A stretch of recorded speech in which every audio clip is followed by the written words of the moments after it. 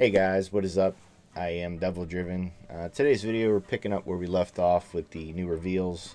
Uh, some of them just got revealed a few moments ago as me recording it, and one of them is really, really nuts. I'll show that one last. Uh, it was revealed by our uh, newest community manager, Anna.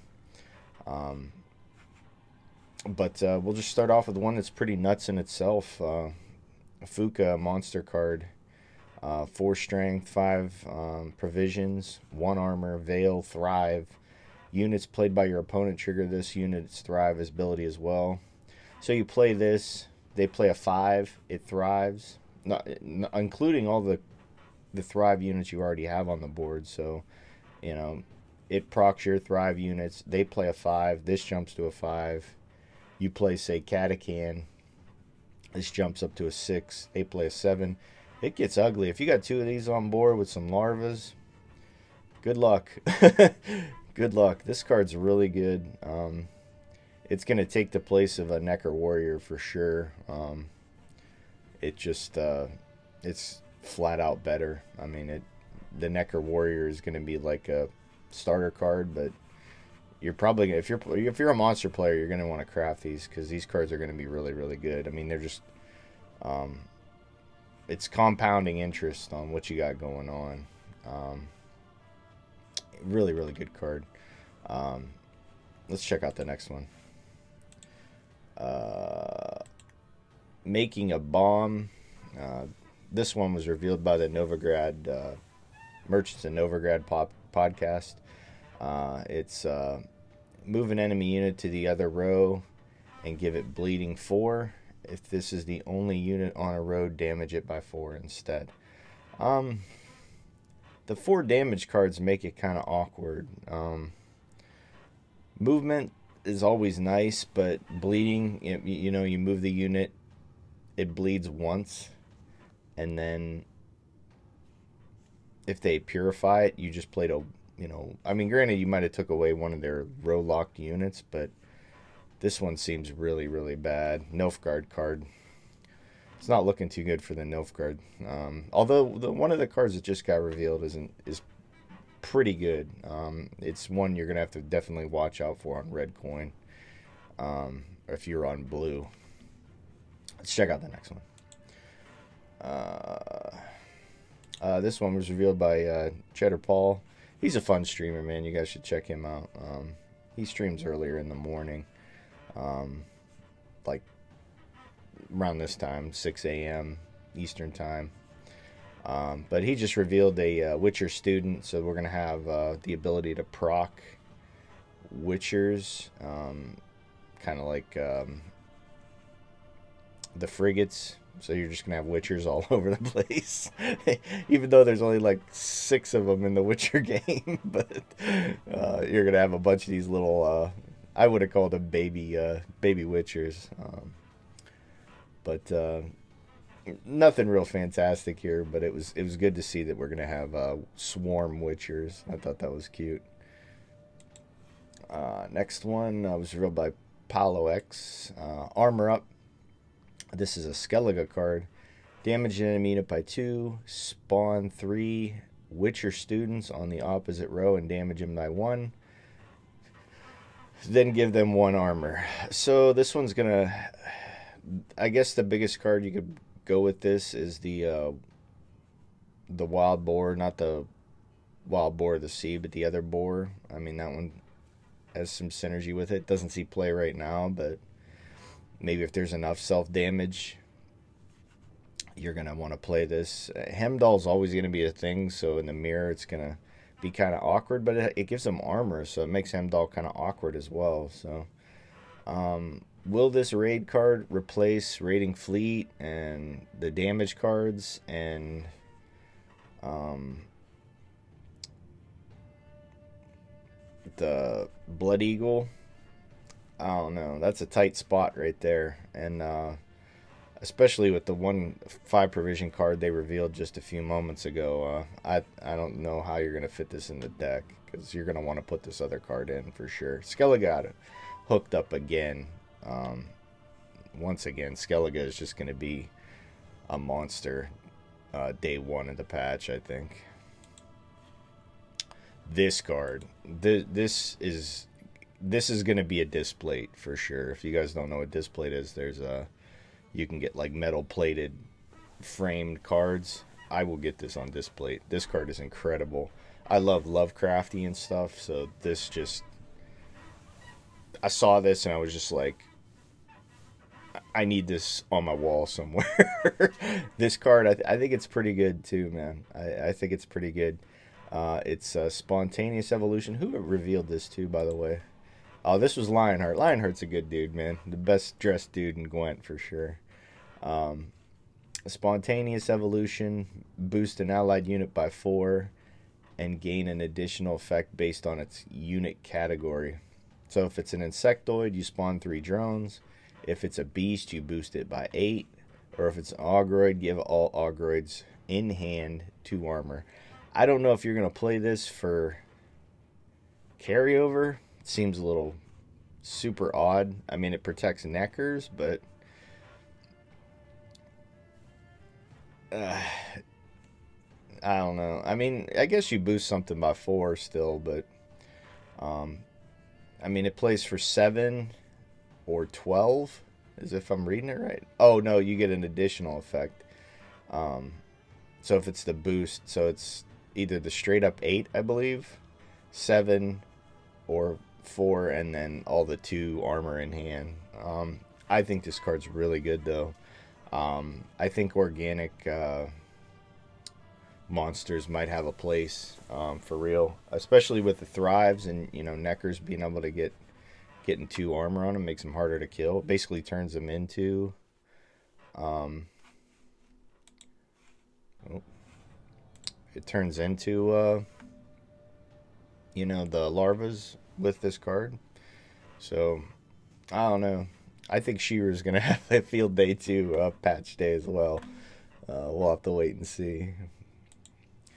Uh, Specimen Gwent had a good card reveal here. This card's really good. Um, the Bear Witcher Adept. Uh, deploy damage self by 4. At the end of your turn, heal self by 1.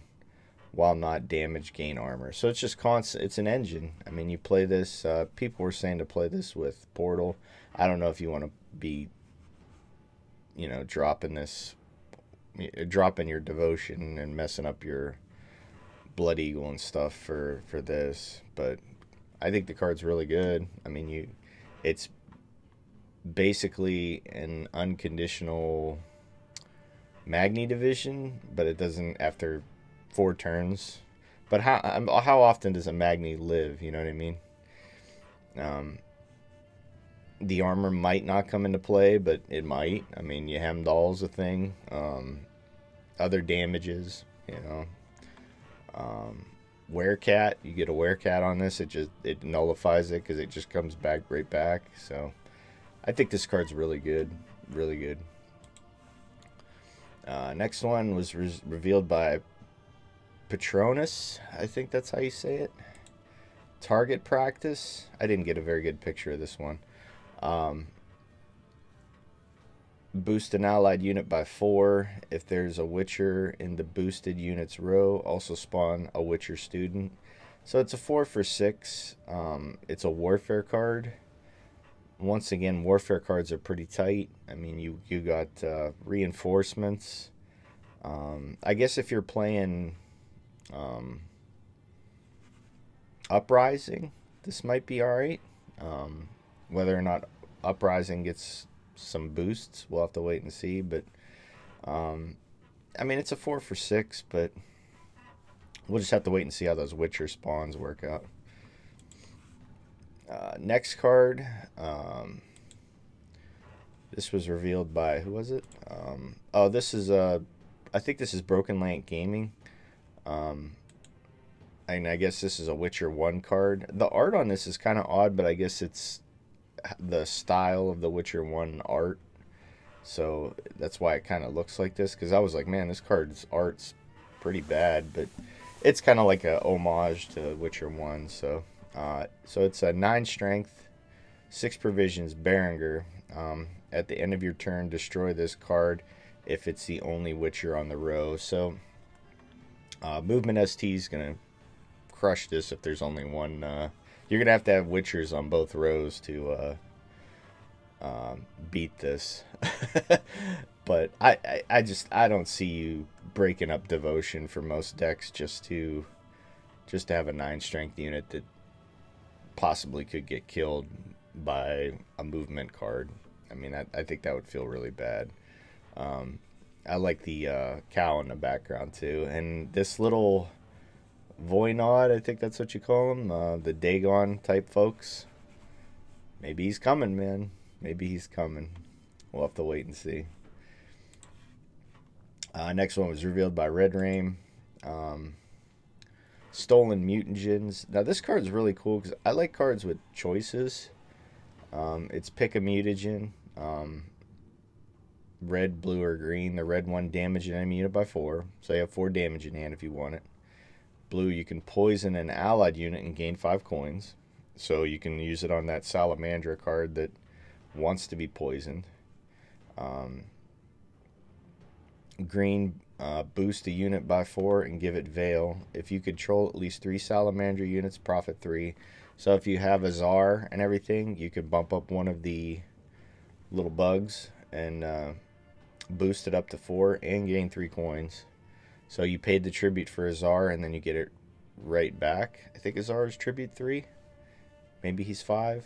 I think he's three. He's only three. But uh, I like this card. I love cards with options, man. Having options is huge, especially if you get three of them. Um, really cool card. I like it.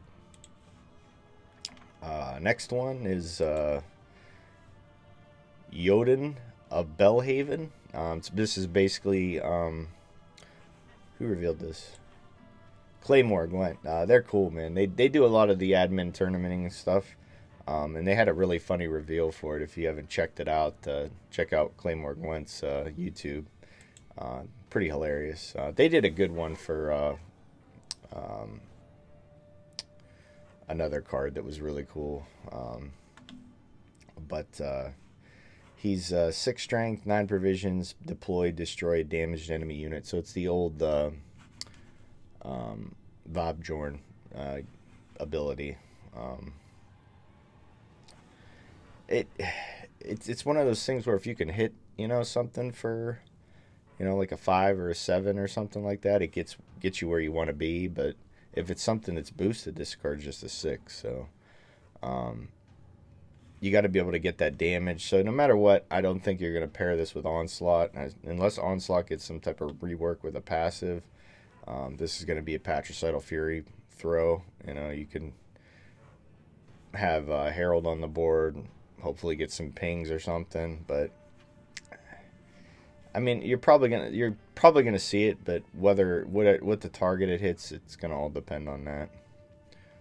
Cool card though. I mean, it was already a card, and they, you know, took it out of the system for a little bit. Uh, next one was revealed by Kung Fu Rabbit. Um, it's uh, Griffin Witcher Menor, uh, five for five deploy, draw the top unit, and then shuffle it back into your deck. Adrenaline 4, boost a unit you've, you've drawn by 2. So I think this is something you're going to play with uh, maybe like blue stripes or like some type of swarm type deal where you can, you know, you, you messed your hand up, you break the card, you play this. It's not going to be too bad on red coin, but it's going to be really slow on blue coin. Um, that's what I'm going with. I mean, I mean, getting that little mini bonus too, um, of you know boosting it by four. Once again, I just think this is going to be like a blue stripe type thing. That's that's the only thing I can come up with because it's just it's just a hand correction thing. But you know, we'll have to wait and see. Next one, uh, this one was these ones were revealed today. Um, this one's a deer it's uh, this one was revealed by uh, one of the uh, Japanese community members, Haya and Honey. Um, seven for eight, a deer insectoid. It has orders. Adrenaline three. Um, so you have to play this with four cards. Your four. This is your fourth card. You play it. Um, Adrenaline three. Consume all tokens on this row, and gain immunity. Whenever you consume one or more units, spawn a drone on this row. So every unit that you consume, you get back, and this becomes immune. Um, it's going to be a swarm type thing. It's kind of like a Fallen Knight for monsters, which it. Uh, I mean, it seems pretty good. I mean, being able to profit off of your swarming and then get it all back seems pretty good. I mean, you play it for a seven for eight, and then it can, you know, thing. But it does have orders, so they do have a chance to answer it. So cool art on this one. Cool art. Uh, next one was revealed by King Denpai. He's funny, man. He's a silly dude. Um, this card for Nilfgaard is pretty nuts. Um, so it's one strength, six provisions. Viper, Witcher, Mentor. Okay. Deploy set power of this card to match provision cost of the top card on your opponent's deck. Okay. So if your opponent misses an hero and it's their top card, this card plays for 14. if you play it with Adrenaline 2, which means this is your third card, no matter what, this provision, this this happens, set power of the card to match the cost of the highest costed card in your opponent's deck. So no matter what you get, I mean, if they miss it, a Nero or one of their high provision cards, even if this plays for like it hits say a 10 provision card, it plays for 11. That's huge. Granted, Bloody Baron shits all over it. Um, and it's a less high rolly spotter, but this card can, I mean, on a red coin, bleed. If you think your opponent has this at three cards and you know you have a Nero in hand, you got to be able to cover 14 points. That's dangerous. That's very dangerous. If you're playing against Nilfgaard, you're going to always have to keep this card in mind on, on a, a blue coin um, push. If you feel like you need to push, you better be able to cover this card um, at three cards because if they got this and you got some good stuff in your deck, you're in trouble. You're in big trouble. uh, and then the last card, this was the one revealed by uh, uh, the new community manager, Anna. Uh, definitely check her out on Twitter if you're a Twitter uh, person, uh, Gwenny Annie. Um, she's pretty awesome. Um, but the Bear Witcher, I guess this is one of the uh, cyberpunk uh, designers or something. Um, this is his likeness, so that's awesome to be in a card this badass. This card is bananas. Um, it's the Bear Witcher, so it's eight strength, five provisions, deploy, damage self by three, adrenaline four. So you're playing this at five cards, which is around where you want to play something like this usually. Um, it's going to damage self and an enemy unit by three. So it's a it's an eight. It's I, I think this card's going to be nuts.